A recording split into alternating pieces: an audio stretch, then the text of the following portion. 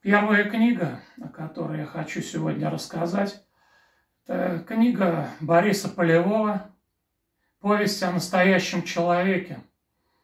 Я ее рекомендовал в домашних заданиях учащимся пятых, восьмых классов. Дело в том, что впервые я сам познакомился с этой книгой в пятом классе. Она входила тогда в школьную программу, это почти 50 лет назад. Э, это никакая не легенда, это быль. И с главным героем этой книги и автором книги я имел возможность лично встречаться, э, потому что наш пионерский отряд носил имя героя этой книги. А Борис Полевой был мой земляк. И перечитав эту книгу в наши, в эти дни,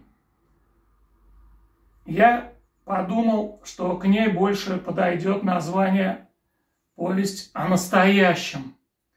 Вот и я поэтому ее вам рекомендую. К сожалению, в 90-е годы она была изъята из школьной программы. И обидно, что такой живой пример самоорганизации может пройти мимо многих учеников среднего школьного возраста. Имеется одноименный художественный фильм «Повесть о настоящем человеке» и хороший документальный фильм «Судьба настоящего человека». Тоже рекомендую. Следующее упражнение – это зрительная гимнастика по Бейтсу. Быстрое моргание. В течение 10-20 секунд –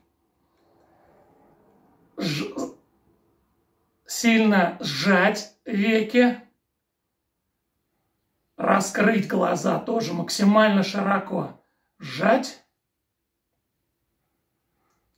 раскрыть, сжать, раскрыть.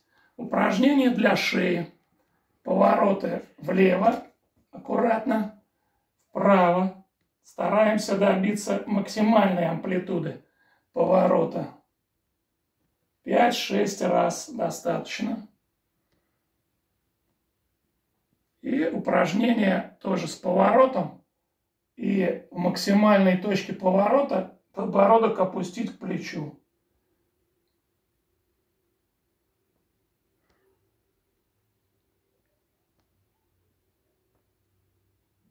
Следующее упражнение. Плечи.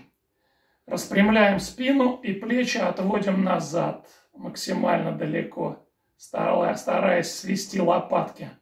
То же самое вперед подаем плечи. Назад, вдох, выдох. Назад, вдох, выдох.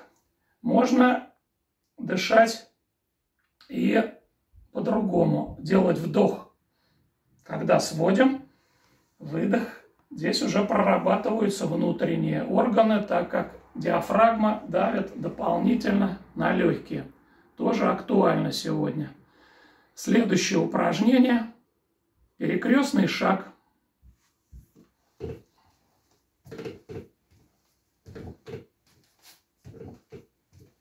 Важное упражнение. Левой рукой касаемся правого колена, правой рукой левого.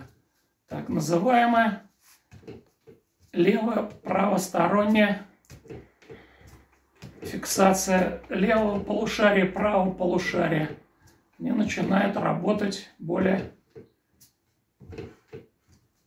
синхронно.